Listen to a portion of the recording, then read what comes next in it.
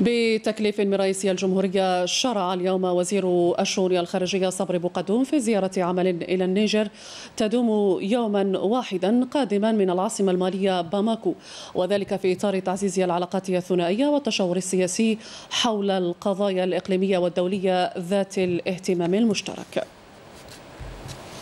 هذا وقام أمس وزير الشؤون الخارجية صبري بقدوم بزيارة عمل دامت يوما واحدا للعاصمة المالية باماكو الزيارة التي تعد الثانية من نوعها في ظرف شهر واحد.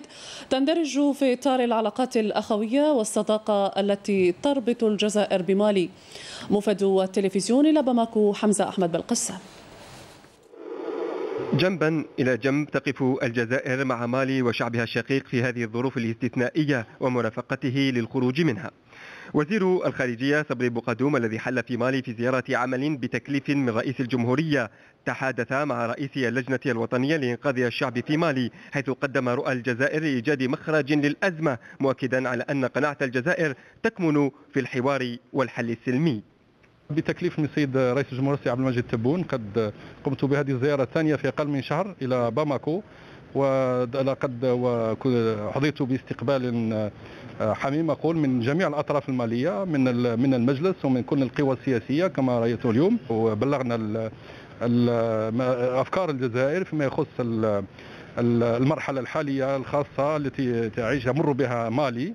ونتكلم بكل صراحة وبكل أخوة مع مع كل الشركاء الماليين. وقد كان إصغاء جيد فيما تقوم به الجزائر وفيما واحترام كبير للجزائر.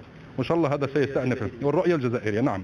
اللجنة الوطنية لإنقاذ الشعب في مالي برئاسة أسيمي غواتا أبدت امتنانها لهذه الزيارة الثانية لوزير الخارجية والجهود الجزائرية وعلى رأسهم رئيس الجمهورية عبد المجيد تبون لإيجاد آليات وسبل لإرساء الأمن والسلام بمالي. السيد الوزير جاء إلى مالي برسالة من رئيس الجمهورية الجزائرية البلد الصديق والجار لمالي وكان دائما سندا لنا في الأوقات الصعبة ولا يزال. هذه الزيارة الثانية في أقل من شهر. يقوم بها وزير الشؤون الخارجية الجزائرية إلى مالي. مهمته الأساسية هي معرفة مستجدات الوضع الراهن في مالي. لقد تبادلنا الرؤى حول هذا الموضوع. وكذلك تبحثنا اتفاق السلام المنبثق عن مسار الجزائر المتمسكين به وبالجزائر.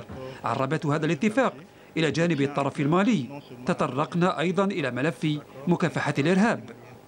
هذا وتلتزم الجزائر بمرافقة الشعب المالي في مساره السلمي لخروجه من الأزمة وذلك تنفيذا لاتفاق السلم بمالي المنبثق عن مسار الجزائر.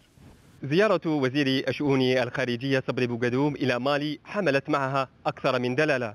تضامن الجزائر المطلق مع شعبها المالي التزام واستعداد الجزائر لمرافقة مالي في ظل هذه الظروف الاستثنائية وكذا اعتبار الحل السلمي هو المسار الحقيقي لتحقيق الأمن والاستقرار.